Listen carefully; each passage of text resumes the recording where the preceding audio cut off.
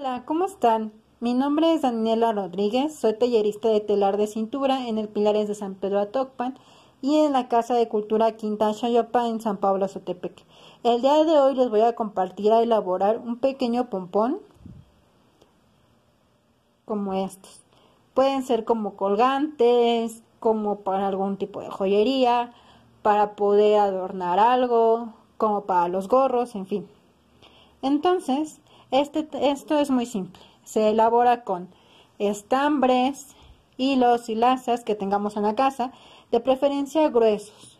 Un estambre pues más o menos grueso, no tan delgado, para que nos salga más fácil porque estamos aprendiendo apenas. Si ustedes quisieran experimentar después, pues pueden ocupar otros materiales, incluso este que no sean específicamente como hilazas o como como estambre.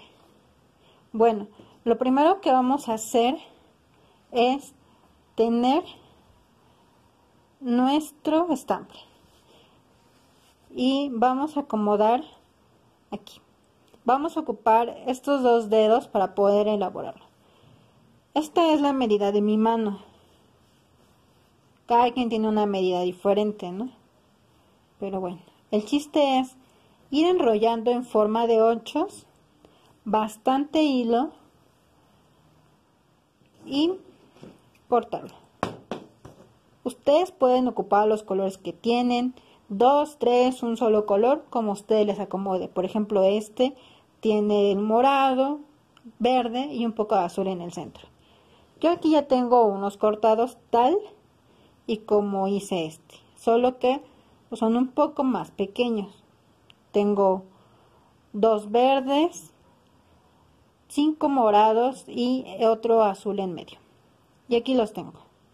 Lo que voy a hacer con otras tiras de hilo, de preferencia del mismo color, es amarrarlo fuerte, de aquí de en medio. Lo más fuerte que podamos y que quede lo más centrado posible.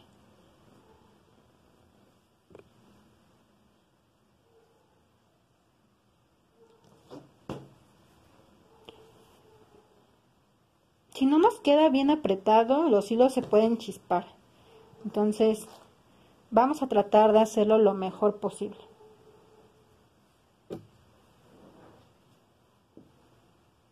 Ahí está. Y una vez amarrado, vamos a cortar las vueltecitas por donde quedó el hilo. Todas las vueltecitas y nos va a quedar así.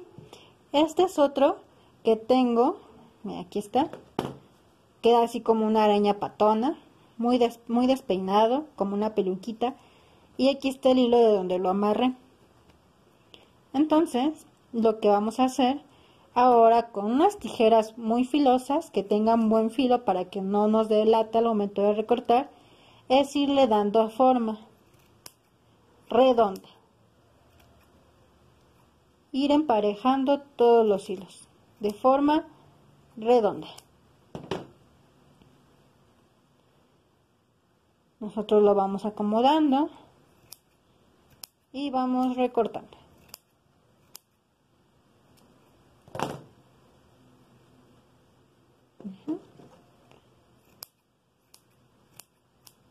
Yo lo que hago es como abrirlo un poquito, acomodarlo y ir recortando, dándole la forma de un círculo.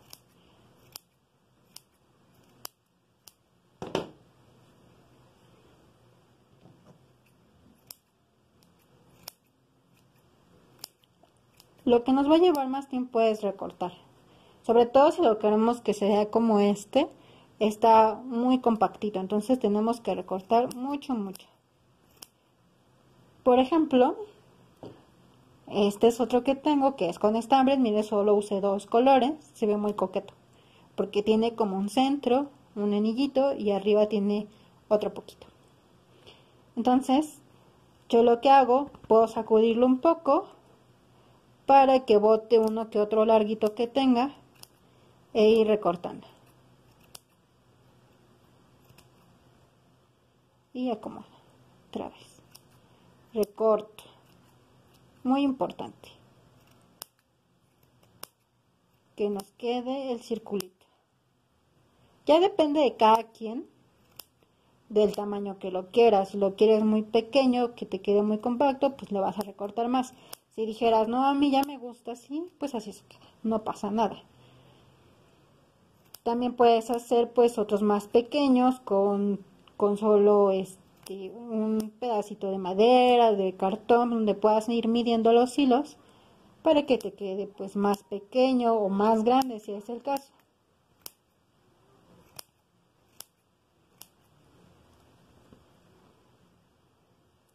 Y bueno, pues así de fácil es hacerlo. Seguimos recortando.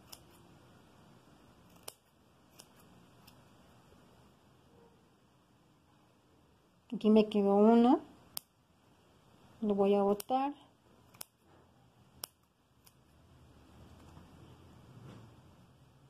Aquí tengo otro. Miren.